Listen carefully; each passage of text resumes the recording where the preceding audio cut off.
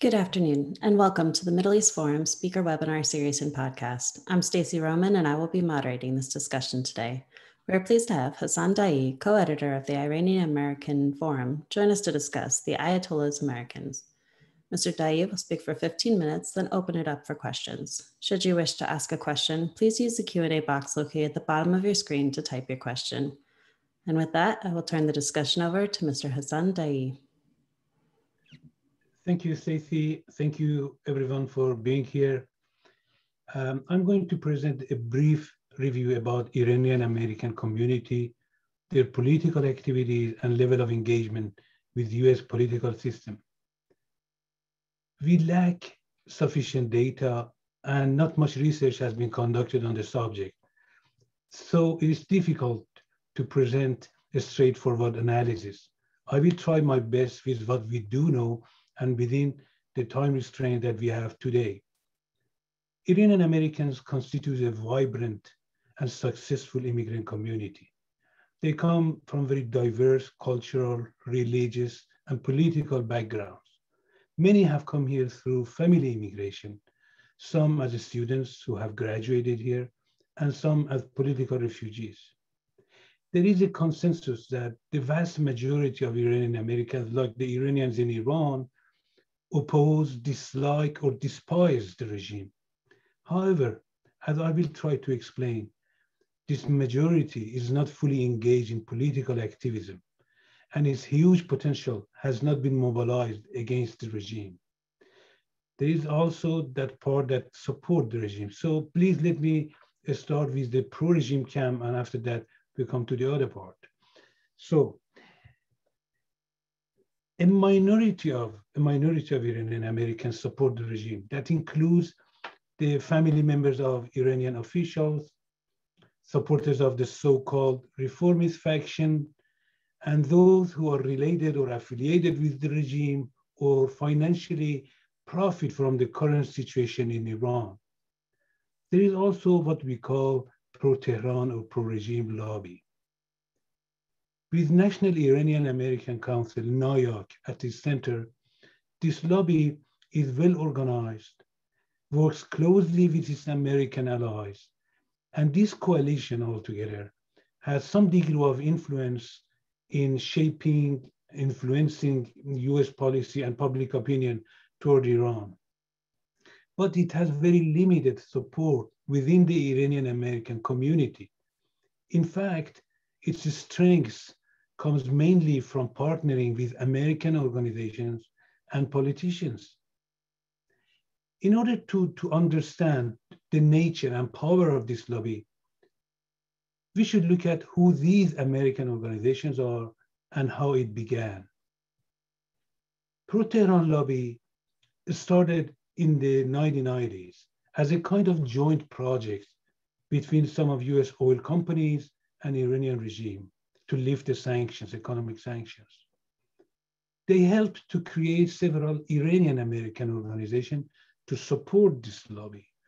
Most prominent among them was American Iranian Council, AIC, that was founded in 1997 and was relevant until about 2001 and 2002. Several oil company executives and former politicians sat on AIC's board but very few Iranians were actually involved with this lobby.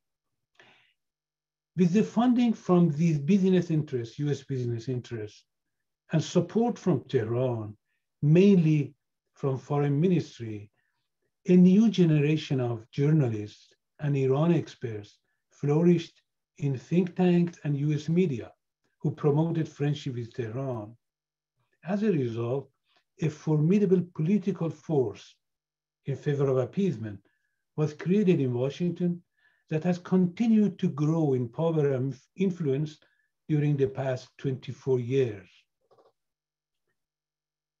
Now we come to NIAC. In 2002, Trita Parsi, a young Iranian Swedish student who works here as AIC's director, founded his own lobby organization called NIAC. And his goal was to recruit Iranian Americans for this anti-sanction lobby.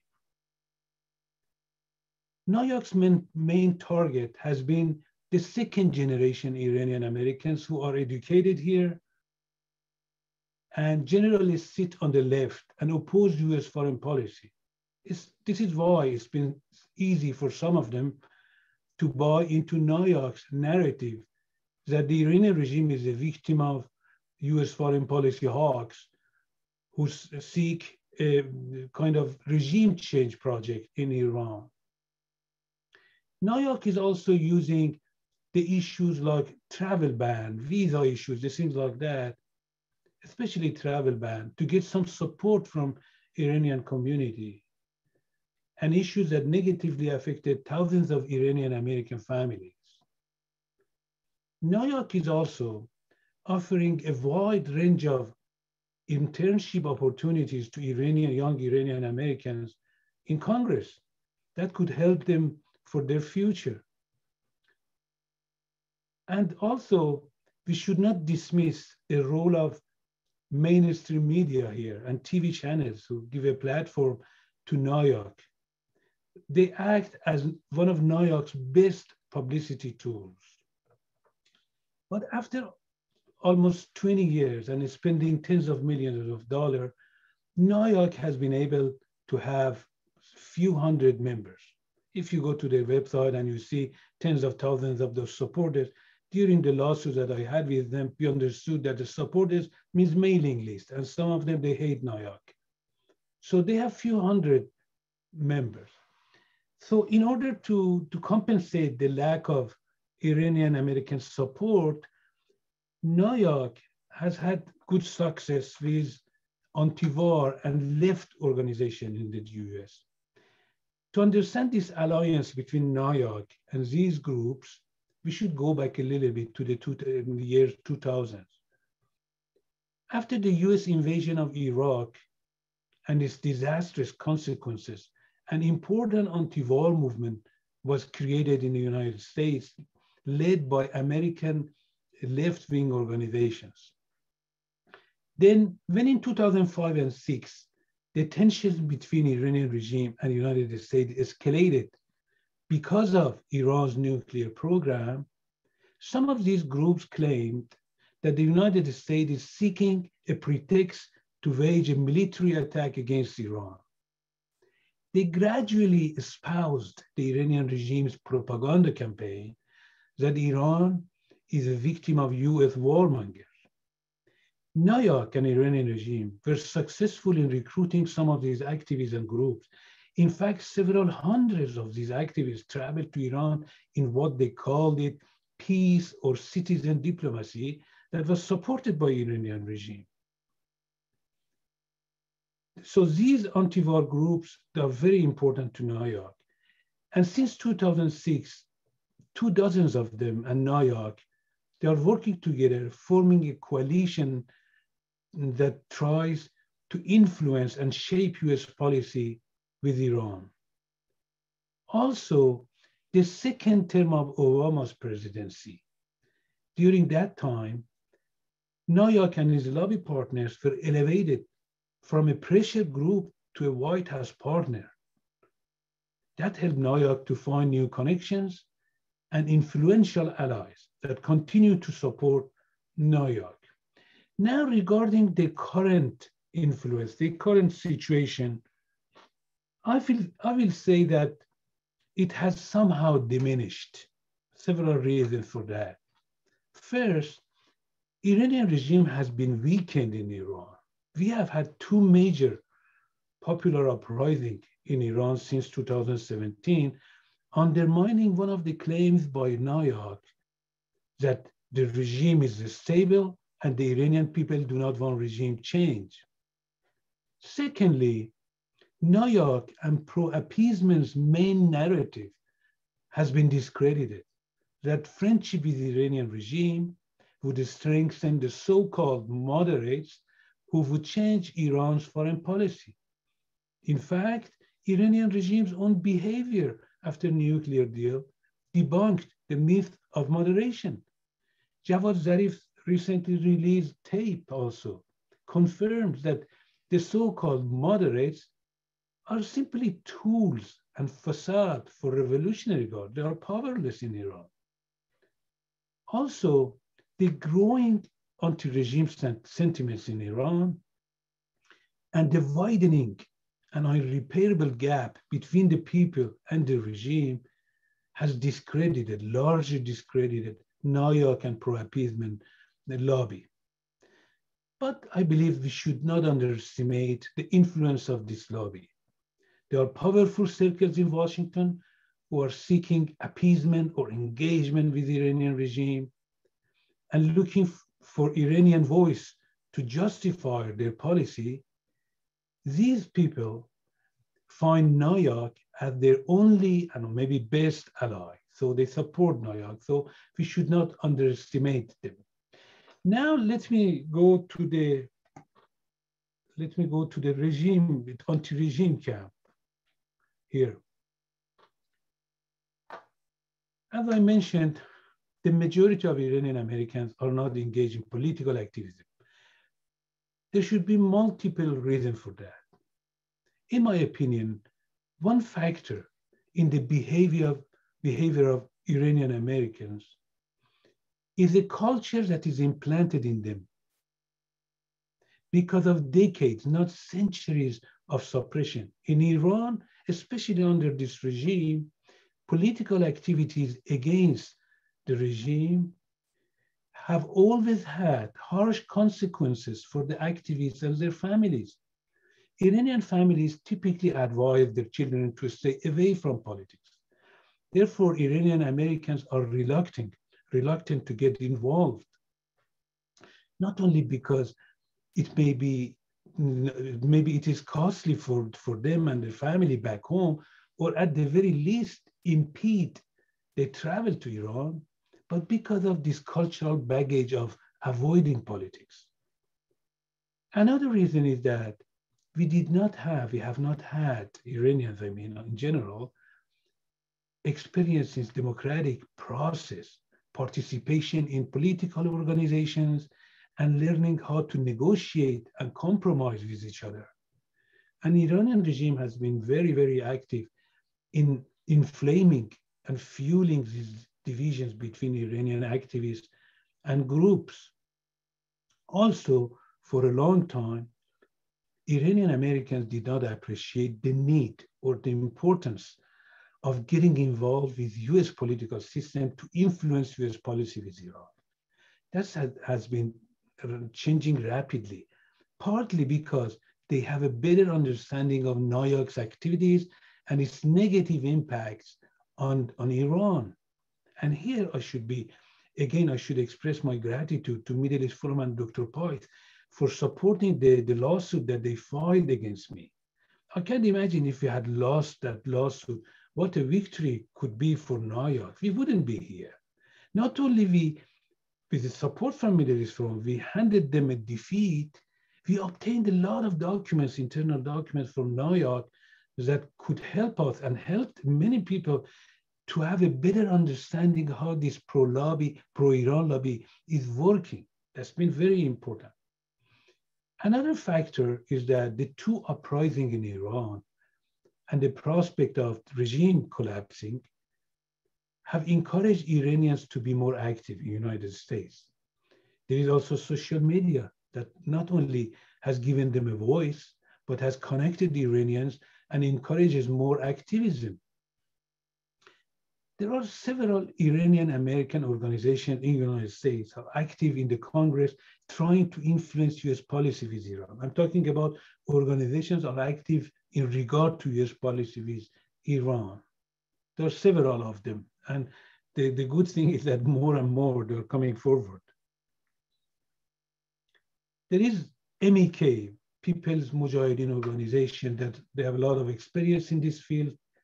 They have several affiliated organizations in different states that conduct district meeting with Congress members. They have long established ties with key members of the Congress from both parties. Recently, they, they introduced a bipartisan resolution that gathered a bipartisan majority in the Congress.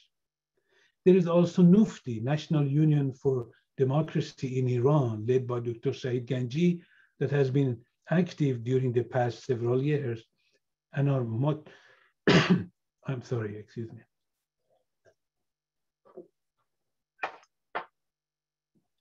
Yes, I was talking about NUFDI, yes, Dr. Ganji, and they're getting more active. And before the pandemic, they had presence on Capitol Hill. There are also several smaller Iranian American organizations that coming forward, and this is good news, establishing contact with Congress members. There are several human rights organizations that are very active uh, and they, they have a lot of presence in the media and social media. There are civil society and women rights activists that are making their voices heard in Washington. So to conclude, I hope I, I have not forgotten anything. Uh, to conclude, um, I will say that for the regime camp or pro-regime camp, they are weaker, but they are still here.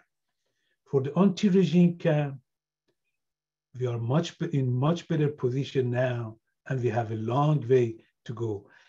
I didn't mention Quincy Institute, and I would say that anyone interested, there's a recent report by Armin Rosen in the Tablet magazine that is a wonderful report. You can see that is that helps NIAC and pro-Tehran lobby has seen something new for the two, three past years, and is getting very, very active now.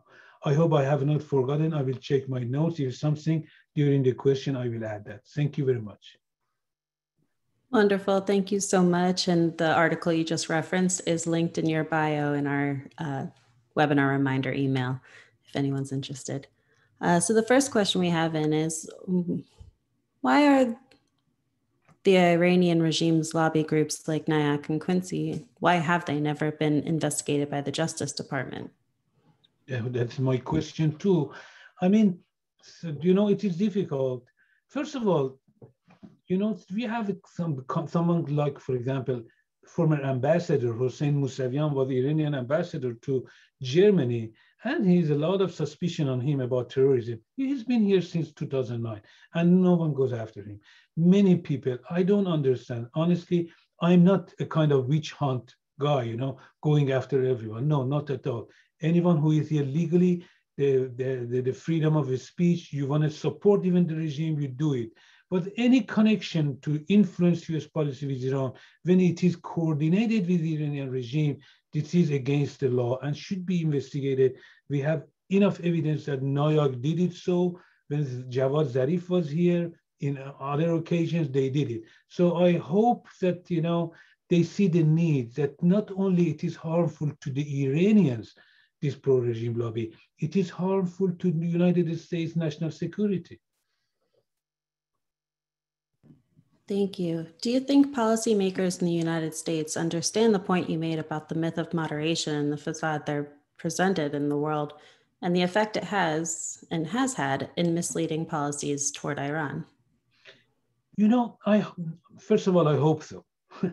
I say it's been weakened. This, you know, this illusion has gone away in good part, but it still is here because there are two approaches. For example, during Obama, Obama's presidency, even President Obama himself told a couple of times that they hoped that friendship with Tehran would change the nature of the regime, nature of his foreign policy. This is a kind of illusion. I believe they have come to a point that they are looking for the minimum. Just reduce the tensions and wait for the time. Because the United States is not looking for regime change because they don't want to, the people here, they don't want to pay the price for it. it. It seems very costly for them. They are not sure about it. So they are waiting. I don't believe that really any serious person here in the United States believes that getting friendly with Iranian regime will help the so-called moderates. No, they are looking a kind of minimum of deal with the Iranian regime to reduce the tensions, just, you know, passing the time, a kind of ceasefire. And is there any way to educate the US politicians to the misinformation of the pro regime lobbies and point them more towards the anti regime? Yeah. Yeah. I mean, this is, you know, I, I mentioned at the end of my talk, we have a long way to go. It is very good. I, I see that a lot of Iranian Americans are getting involved, and it is enough to talk about among ourselves. You know, we should talk to Americans, to American policymakers, and they are doing so. And this is good.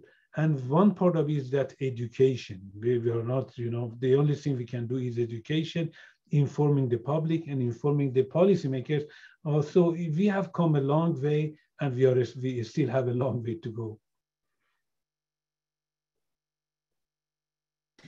So, what would you suggest that the anti regime Iranian Americans uh, could do to change that narrative and speak up and get more involved? Excuse me, I didn't understand. Yeah. What would your policy recommendations be? How do you think that the anti regime Iranian Americans could get more involved? I know they're making great strides right now, but how can we push that a little further? Oh, you know, I, I'm pretty sure they have a lot of um, ideas. My experience, I'm telling two things. First of all, bipartisanship. That is the main thing. That is the main thing. For an Iranian American organization to be effective, we should be bipartisan. Do not get involved with American politics, especially now. This is such a polarized environment. You get involved, you, you are completely ineffective. That I, am this is my fear that some small groups coming forward, a smaller one. I'm not talking about MEK or NUFDI. I haven't seen that partisanship from them, but other smaller ones are coming forward. They should avoid partisanship. One thing, and second thing is nothing can be done without organization. Organization, organization. You know, this is, look at NIAC and this is how they have worked and it is very important. So organization and bipartisanship.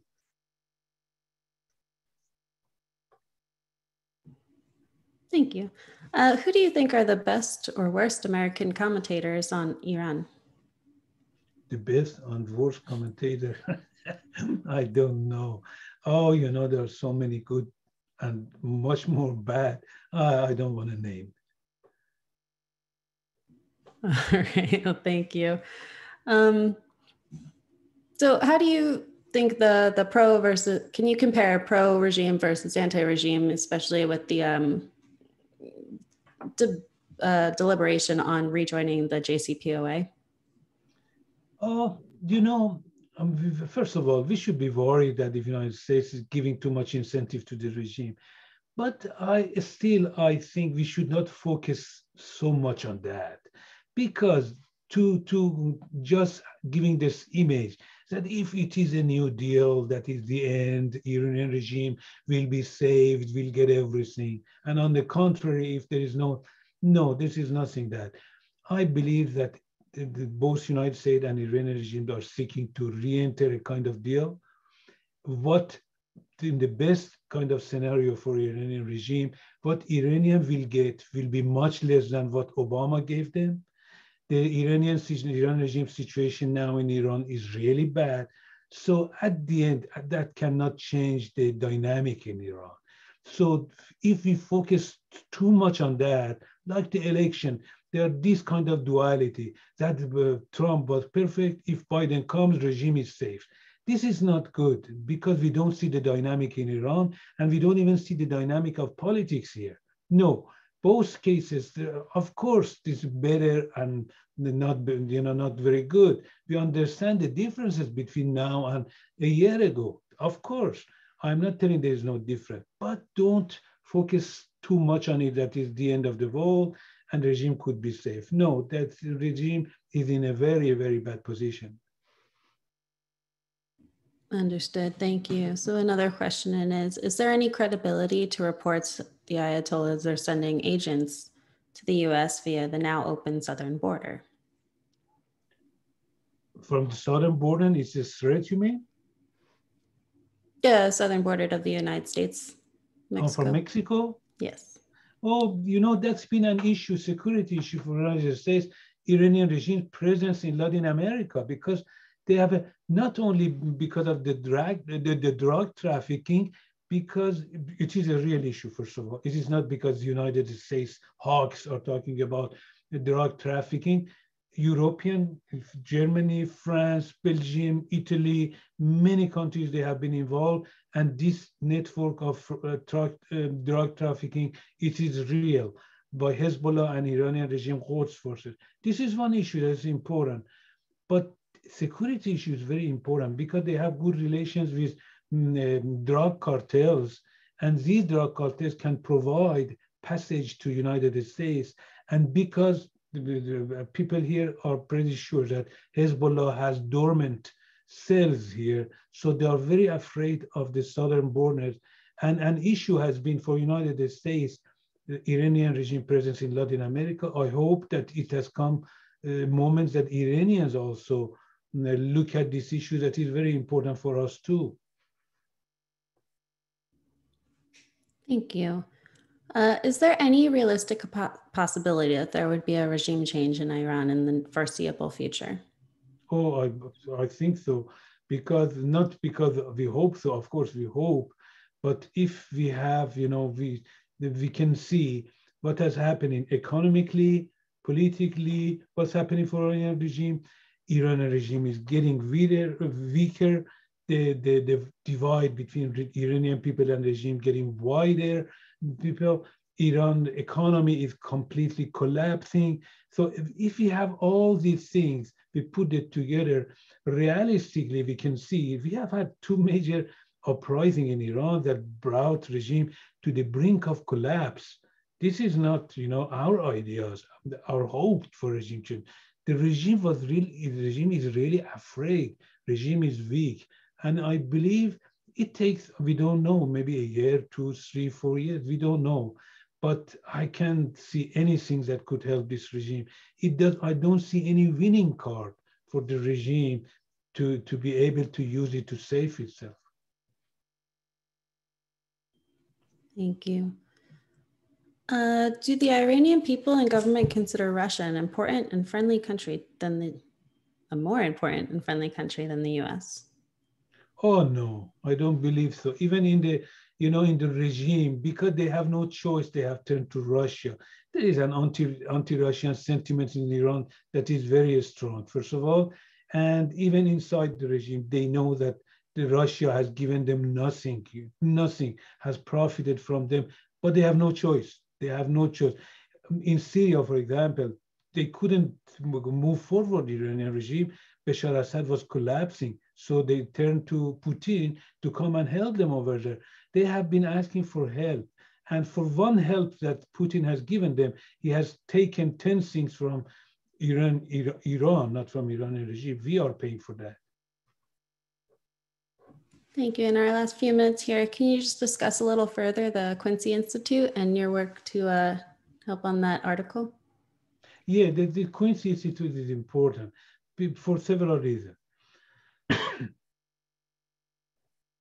First, because you know when NIAC started its lobby, it is true for being successful as a lobby, they wanted to have two different branches. One was to recruit Iranian Americans, and the other branch to do lobbying separate.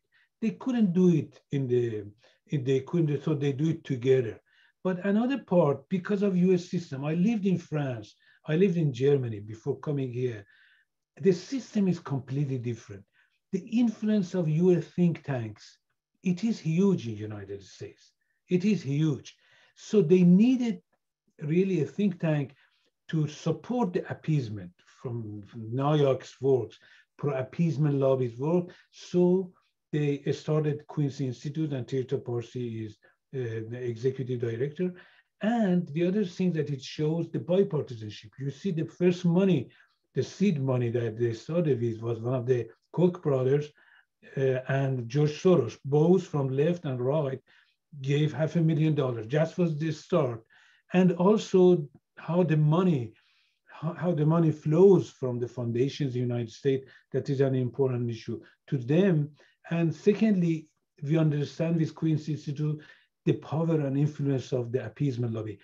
Uh, what I told that they are weaker now, but we should be careful not to underestimate them. So it gives us a very good picture. And Armin Rosen has been using a lot of internal documents from NIAC in his report. That is a great, great report, really. Wonderful. Thank you so much. And can you just tell our viewers where we can find some more of your work? Some of? Some more of your work. Of the, you know, Iranian American Forum or on the Twitter, Hassan Hassan.Daei or Iranian Forum. Iranian Forum, Iranian American Forum, they can Google it and they can find it. Thank you, Stacey for inviting me. Of course. Thank you so much again for taking time to speak with us. We've come Thank to the close of our. Thank you. Of course. For our viewers and listeners, please be on the lookout for our weekly webinar offerings email coming out over the weekend. Thank you all for joining us, and I hope you have a wonderful day.